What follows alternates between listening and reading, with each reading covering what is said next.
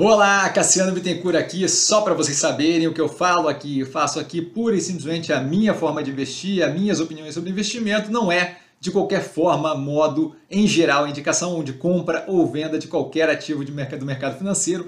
E agora o vídeo, valeu!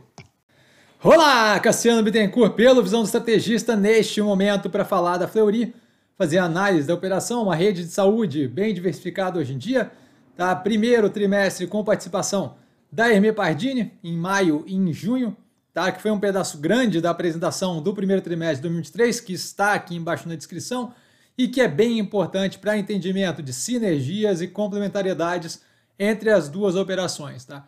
E que torna os dados contábeis irrelevantes no comparativo, o que interessa aqui é o pro forma quando eu estou comparando ano contra ano. Tá? Aqui mostra um resultado bem positivo, com alavancagem bem controlada e sem grande influência das sinergias ainda, o que abre um espaço para uma evolução considerável na melhoria operacional.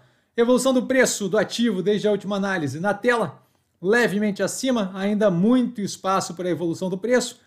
Tá? Sem muito a explorar aqui, no trimestre, a gente vai direto à operação financeira, que mostra uma receita líquida, uma receita bruta, desculpa, com um crescimento de 12,7% year on year, 17,4% se eu excluir a participação ali do Covid, Tá? Atendimento móvel vai a 25,9% no trimestre, 7,1% da receita bruta total. Isso, levando em consideração que a gente adicionou né, o Hermepadine.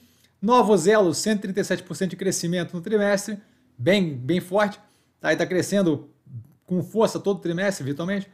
30,5% de crescimento orgânico em geral, bem positivo. Como dito, a abertura do crescimento por marca barra região na tela, tá aí já com as operações da Hermê Pardini também, tá só para informação. Despesas operacionais com abertura aqui, só porque a gente tem um não recorrente um one-off, e também porque é a primeira vez das duas juntas, a gente vê que aumento leve, teve um aumento leve como percentual da receita líquida, que é bem positivo. O one-off ali de 65 milhões comentado no primeiro trimestre de 2023, nada que me preocupe, incomode ou qualquer coisa do gênero. EBITDA com 14,4% de crescimento ano contra ano, tá? com melhoria de margem sem qualquer sinergia ainda, então bem positivo. A gente vê a margem indo de 24,9% no mesmo período do ano passado para 25,2% nesse período. Tá?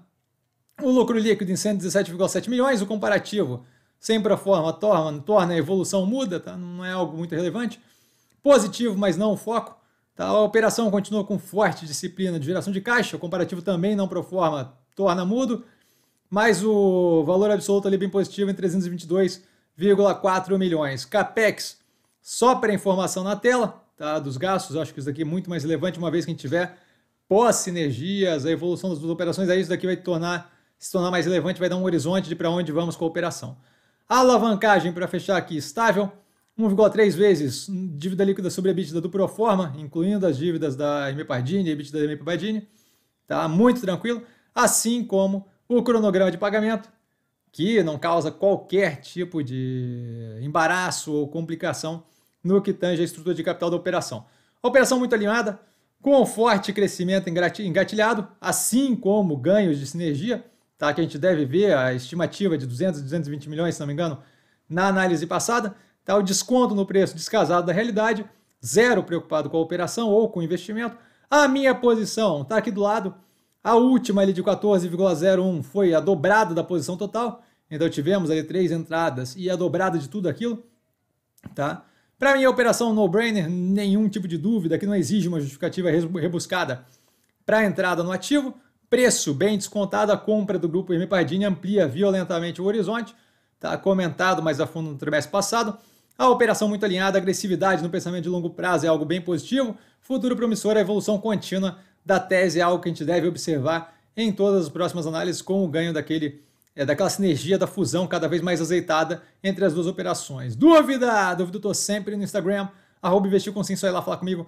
Não trago a pessoa amada, mas sempre lá tirando dúvida. Vai lembrar que quem aprende a pensar bolsa opera. Com o mero detalhe, um grande beijo a todo mundo e bora que tem análise aí. Valeu, galera. Beijão!